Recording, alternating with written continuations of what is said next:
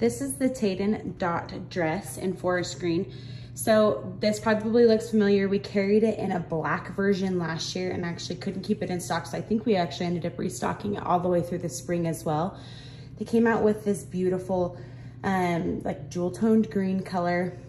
I am wearing a size medium right now. It comes small through large. We didn't do our own run of it this time. Um, I could have worn the small. There would have been no problem. The medium's fine on me. Um, so definitely size down at least one size. If you want to, you can go down two.